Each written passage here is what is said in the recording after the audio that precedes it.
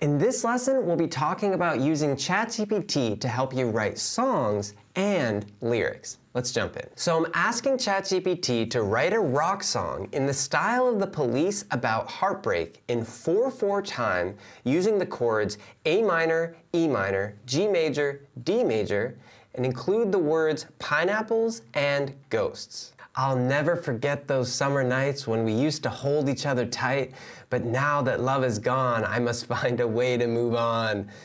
Pineapples and ghosts haunt my mind, reminding me of a love that was blind. This is hilarious. But you can see ChatGPT tells you where you are in the song, verse 1, chorus, verse 2. It gives you the chords above the lyrics, and it wrote an original song about heartbreak in the style of the police. And it did include pineapples and ghosts. It wasn't the most creative about how it threw them in there, but this is honestly hilarious. Now I'm gonna ask ChatGPT to write a rap battle between Dr. Dre and Biggie Smalls about spaghetti. Write a rap battle between Dr. Dre and Biggie Smalls about spaghetti. Use the words Jelly Belly three times. Okay, let's see how he did. Right out of the gate, yikes, that is vicious.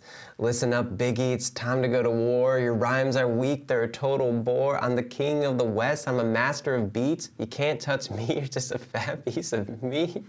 Oh my God. Okay, you talk about spaghetti, but you don't know the sauce. What is this one? I'm a master of the game, I'm the king of the beat. You're just a jelly belly, you can't even compete. This is absolutely ridiculous. And here it says that Biggie took the crown and he won the fight, and Dr. Dre was just a jelly belly. So this is ridiculous. But if you actually write lyrics or you're a rapper or a songwriter, you can use ChatGPT to help brainstorm ideas for your music.